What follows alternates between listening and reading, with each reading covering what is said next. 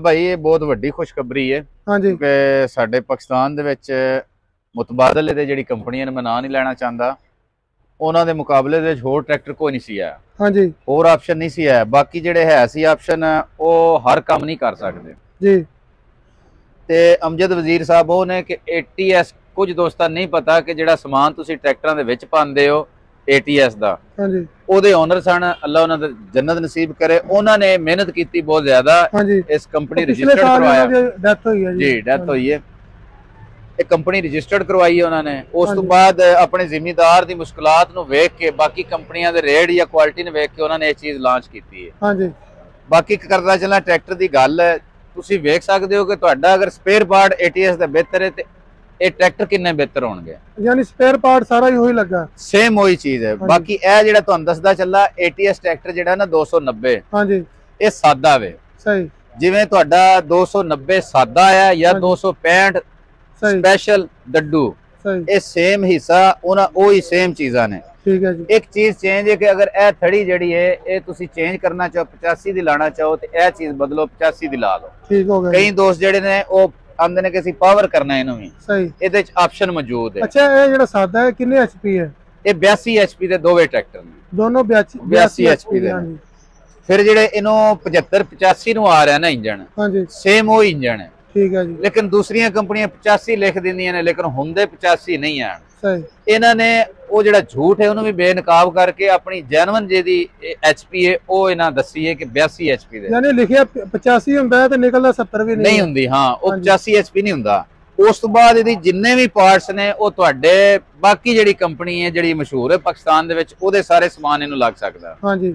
Show ਕੋਈ ਖਰਾਬ ਹੁੰਦੀ ਹੈ 265 165 290 ਇਹ ਤਕਰੀਬਨ ਸਾਰੀ ਸ਼ੋ ਦੇ ਬਰਾਬਰ ਹੁੰਦੀ ਹੈ ਇਹਦੀ ਸੈਟਿੰਗ ਸਹੀ।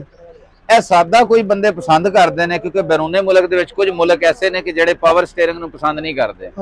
ਕਿਉਂਕਿ ਇਹ ਪਹਿਲੇ ਬਾਹਰ ਜਾ ਰਹੇ ਸੀ। ਉਸ ਤੋਂ ਬਾਅਦ ਲਾਇਸੈਂਸ ਇਹਨਾਂ ਨੂੰ ਮਿਲਿਆ ਲੇਟ ਇਹਨਾਂ ਨੇ ਸਾਦਾ ਵੇ ਆਪਸ਼ਨ ਕਰ ਦਿੱਤਾ।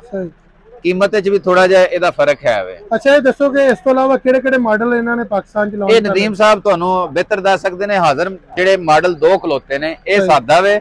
ਇਹਦੇ ਵਿੱਚ ਫ਼ਰਕ ਇੰਨਾ ਹੈ ਕਿ ਇਹਦੇ ਵਿੱਚ ਕੂਲਰ ਨਹੀਂ ਲੱਗਾ ਹਾਂਜੀ। ਪਾਵਰ ਨਹੀਂ ਲੱਗਾ। ਠੀਕ ਹੈ ਜੀ। ਉਸ ਤੋਂ ਬਾਅਦ ਇਹ ਜਿਹੜੇ ਪਾਇਦਾਨ ਨੇ ਇਹਨਾਂ ਦਾ ਫ਼ਰਕ ਹੈ ਬੈਟਰੀ ਇਹਦੀ ਅੱਗੇ ਵੇ। ਸਹੀ। ਬਾਕੀ ਚੀਜ਼ਾਂ ਸੇਮ ਨੇ। ਅੱਛਾ ਮਤਬਾਦਲ ਕੰਪਨੀ ਦੇ ਮਿਆਰ ਦੀ ਆਪਾਂ ਗੱਲ ਕਰੀ ਇਹਦਾ ਤੇ ਉਹਦਾ ਕਿੰਨਾ ਫ਼ਰਕ ਹੈ? ਬਹੁਤ ਜ਼ਿਆਦਾ ਫ਼ਰਕ ਹੈ। ਤੁਸੀਂ ATS ਦਾ ਸਮਾਨ ਪਾਉਂਦੇ ਹੋ ਸਾਰੇ ਦੋਸਤ ਪਾਉਂਦੇ ਨੇ ਉਹਦਾ ਹਿਸਾਬ ਲਾ ਲਓ। ਹਾਂਜੀ।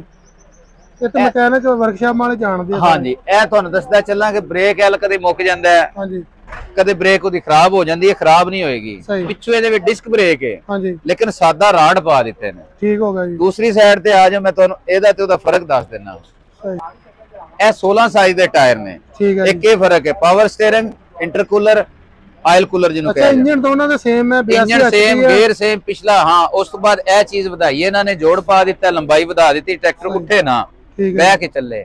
ਇੱਕ ਇਹ ਜੋੜ ਪਾਇਆ ਇਹਨਾਂ ਨੇ। ਠੀਕ ਹੈ ਜੀ। ਇਹ ਲੰਬਾਈ ਵਧਾ ਦਿੱਤੀ ਇਹਨਾਂ ਨੇ ਬਾਕੀ ਸੇਮ ਚੀਜ਼ ਹੈ। ਅੱਛਾ ਟਾਇਰ 16 ਦੇ ਤੇ 18 ਦੇ ਇਹਦੀ ਵਜ੍ਹਾ ਕੀ ਹੈ ਜੀ? ਇਹਦੀ ਵਜ੍ਹਾ ਇਹ ਵੇ ਕਿ ਇਹ ਇਹਦੀ ਕੋਈ ਬੰਦੇ 16 ਦਾ ਪਸੰਦ ਕਰਦੇ ਨੇ ਹਾਂਜੀ। ਯਾਨੀ 75 ਆ ਰਹੇ ਨੇ ਤੁਹਾਡੇ। ਉਹ 16 ਦੇ ਆ ਰਹੇ ਨੇ ਤੇ ਕੋਈ 18 ਦੇ ਪਾ ਦਿੰਦੇ ਨੇ। ਜਿਹੜਾ 75 85 ਦਾ ਇੰਜਨ ਹੈ ਉਹ 18 ਵੀ ਚਲਾ ਸਕਦਾ 16 ਵੀ ਚਲਾ ਸਕਦਾ। ਠੀਕ ਹੋ ਗਿਆ ਜੀ। ਇੱਧਰ ਆ ਜਾਓ ਜੀ। ਉਹਦੇ ਵਿੱਚ ਫ਼ਰਕ ਇਹ ਵੇ ਇਹ। ਕੂਲਰ ਦਾ। ਸਹੀ। ਇਹ ਥੜੀ ਜਿਹੜੀ ਹੈ ਇਹ ਮਜ਼ਬੂਤ ਬਣਾਈ ਉਹਦੇ ਨਾਲੋਂ ਵੀ ਹੈਵੀ ਲੱਗੀ ਇਹਨੂੰ। ਸਹੀ। ਉਸ ਤੋਂ ਬਾਅਦ ਇਹ ਜੈਕ ਲੱਗ ਗਿਆ। ਹਾਂਜੀ। 18 ਸਾਈਜ਼ ਦੇ ਟਾਇਰ ਹਾਂਜੀ। ਇਹ ਬੈਟਰੀ ਥੱਲੇ ਆ ਗਈ। ਠੀਕ ਹੈ ਜੀ। ਉਹਦੇ ਬੈਟਰੀ ਫਰੰਟ ਤੇ ਵੇ। ਸਹੀ। ਉਸ ਤੋਂ ਬਾਅਦ ਇਹ ਚੱਕਾ ਛੋਟਾ ਲਾ ਦਿੱਤਾ। ਸਹੀ। ਅਗਰ ਉਹਨੂੰ ਵੀ ਤੁਸੀਂ ਕੱਲ ਨੂੰ ਅਗਰ ਇਸ ਪੋਜੀਸ਼ਨ ਵਿੱਚ ਲਿਆਣਾ ਚਾਹੋ ਤੇ ਬਾਸਾਨੀ ਲਿਆ ਸਕਦੇ ਹੋ। ਕੋਈ। ਵੀ ਮਾਰਕੀਟ ਦੇ ਵਿੱਚੋਂ ਚੀਜ਼ ਡੀਜ਼ਲ ਪੰਪ ਹੈ ਉਹ ਡੈਲਫੀ ਦਾ ਜਿਹੜੀ ਬਾਕੀ ਕੰਪਨੀਆਂ ਇਸਤੇਮਾਲ। ਕਰ ਰਹੀਆਂ ਅੱਛਾ ਜਿਹੜੇ ਤੁਸੀਂ ਟੱਕਣ ਦੱਸੋ ਕਿ ਜਿਹੜੇ ਬਾਹਰ ਕੱਢੇ ਆ ਸ਼ੋਅ ਦੇ ਉੱਤੋਂ ਇਹ ਥੋੜਾ ਜਿਹਾ ਬੁਰਾ ਨਹੀਂ ਲੱਗਦਾ?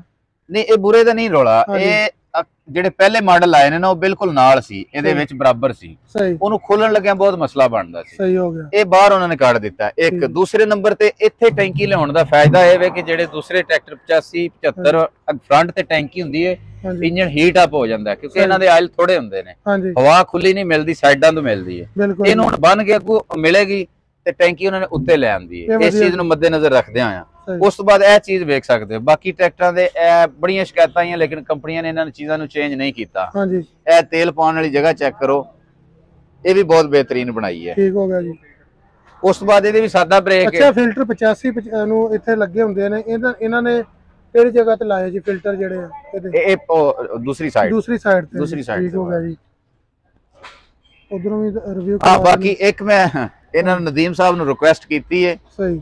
ਉਹ ਵੀ ਮੈਂਸ਼ਨ ਕਰਦਾ ਚੱਲਾਂ ਕਿ ਕੱਲ ਨੂੰ ਭਰਾ ਕੋਈ ਟਰਾਲਾ ਪਾਉਂਦਾ ਹੋਵੇ ਤੇ ਗੰਨਾ ਲੈ ਕੇ ਜਾਂਦਾ ਉਹਨੂੰ ਬੰਪਰ ਅਟੈਚ ਕਰਨਾ ਹੋਵੇ ਉਹ ਥੋੜਾ ਜਿਹਾ ਮਸਲਾ ਉਹ ਨਦੀਮ ਸਾਹਿਬ ਨੂੰ ਕਿਹਾ ਕਿ ਇੱਥੇ ਉਹਦੀ ਪੋਜੀਸ਼ਨ ਲਾਜ਼ਮੀ ਬਣਾਉਣ ਕਿਉਂਕਿ ਇਹ ਨਵੀਂ ਚੀਜ਼ ਹੈ ਇਹਦੇ ਵਿੱਚ ਕੁਝ ਨਾ ਕੁਝ ਚੀਜ਼ਾਂ ਹਾਂਜੀ ਫਰੰਟ ਪਲੇਟ ਅਗਰ। ਲਾਣਾ ਹੈ ਹਾਂਜੀ। pocket ਲਾਣਾ ਜੀ ਉਹਦੇ ਤੇ ਵੀ ਜ਼ਰੂਰੀ ਹੈ ਜੀ। ਹਾਂਜੀ ਉਹ ਮਸਲਾ ਹੋਵੇ ਇਹ ਫਿਲਟਰ ਹੈ ਜੀ। ਸਹੀ। ਦੂਸਰੇ ਦੋ ਨੇ। ਜੀ? ਨਾ ਮੈਸੀ ਉਹ ਦੋ ਨੇ ਨਾ ਫਿਲਟਰ ਡੀਜ਼ਲ ਫਿਲਟਰ ਸਰ ਇਹ ਵੱਡਾ ਦੇ ਦਿੱਤਾ ਨਾ ਇੱਕ ਫਿਲਟਰ ਹੀ ਦੋ ਵਰਗਾ। ਹਾਂਜੀ ਇੱਕ ਦੋ ਵਰਗਾ ਦੇ ਦਿੱਤਾ। ਹਾਂਜੀ। ਬਾਕੀ ਕੁਆਲਿਟੀ ਦੀ ਫਿਨਿਸ਼ਿੰਗ ਦੀ ਗੱਲ ਕਰਦਾ ਚੱਲਾਂ ਬਹੁਤ ਬਿਹਤਰੀਨ ਆ। ਹਾਂਜੀ। ਰੇਸ ਵਾਲਾ ਸਿਸਟਮ ਵੇਖ ਸਕਦੇ ਹੋ। ਸਹੀ। ਜਿਹੜੇ ਦੋਸਤ ਹਜੇ ਵੀ 265 ਜਾਂ 290 ਲੱਭ ਰਹੇ ਨੇ ਹਾਂਜੀ। ਉਹਨਾਂ ਵਾਸਤੇ ਬੰਪਰ ਲੱਭ ਗਿਆ ਜੀ 290 ਵੀ ਲੱਭ ਗਿਆ। ਕੀਮਤ ਦੀ ਗੱਲ ਕਰੀਏ। ਕੀਮਤ ਨਦੀਮ ਸਾਹਿਬ ਤੁਹਾਨੂੰ ਦੱਸਣਗੇ। ਬਾਕੀ ਇਹਦੀ ਜਦੋਂ ਦੇ ਅਸੀਂ ਆਏ ਹਾਂ ਨਾ ਬਹੁਤ ਜ਼ਿਆਦਾ ਕੱਲ ਆਈਆਂ ਨੇ ਬੁਕਿੰਗ ਬਹੁਤ ਜ਼ਿਆਦਾ ਹੋ ਚੁੱਕੀ ਹੈ। ਮਾਸ਼ਾਅੱਲਾ ਜੀ। ਜਿੰਨੀ ਜਲਦੀ ਤੁਸੀਂ ਬੁਕਿੰਗ ਕਰਾਓਗੇ ਤੁਹਾਨੂੰ ਉਨੀ ਜਲਦੀ ਟਰੈਕਟਰ ਮਿਲ ਜਾਏਗਾ। ਨਜ਼ੀਮ ਸਾਹਿਬ ਇੱਕ ਕੀਮਤ ਦੱਸੋ ਫਿਰ ਲੈਦਰ ਰਿਵਿਊ ਤੁਹਾਡੇ ਕੋਲ ਕੀਮਤ ਜਿਹੜਾ ਐਰੀ ਹੈਗੀ ਹੈ 31 ਲੱਖ 48000 ਹਾਂਜੀ।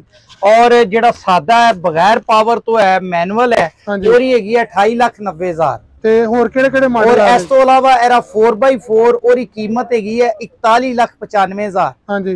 ਔਰ ਚੌਥਾ ਟਰੈਕਟਰ ਹੈਗਾ ਇਹਨਾਂ ਦਾ ਟਰਬੋ 950 95 HP ਉਹਦੀ। ਅਜੇ ਕੀਮਤ ਫਾਈਨਲ ਨਹੀਂ ਕੀਤੀ ਉਹ ਥੋੜੇ ਦਿਨਾਂ ਤੱਕ ਉਹ ਵੀ ਫਾਈਨਲ ਕਿੰਨੀ ਦੇਰ ਬਾਅਦ ਮਿਲ ਜਾਏਗਾ ਬੁਕਿੰਗ ਤੋਂ ਇਹਨਾਂ ਟਰੈਕਟਰਾਂ ਦੇ ਜਿਹੜੇ ਆ ਟਰੈਕਟਰ ਜਿਹੜੇ ਦੋ ਇੱਥੇ ਖੜੇ ਆ ਜਾਂ 4x4 ਆ ਟਰੈਕਟਰ ਜਿਹੜਾ ਦੋਸਤ ਬੁਕਿੰਗ ਕਰਾਣਗੇ ਨਾ ਉਹਨਾਂ ਨੂੰ ਇਨਸ਼ਾਅੱਲਾ ਇਨਸ਼ਾਅੱਲਾ ਇੱਕ ਵੀਕ ਦੇ ਵਿੱਚ ਮਿਲ ਜਾਣਗੇ। ਇੱਕ ਹਫ਼ਤੇ ਚ। ਇੱਕ ਹਫ਼ਤੇ ਚ। ਲੇਕਿਨ ਆ ਸ਼ਡਿਊਲ ਅੱਜ ਦਾ ਹੈ। ਸਹੀ। ਕੱਲ ਸ਼ਡਿਊਲ ਚੇਂਜ ਹੋਏਗਾ।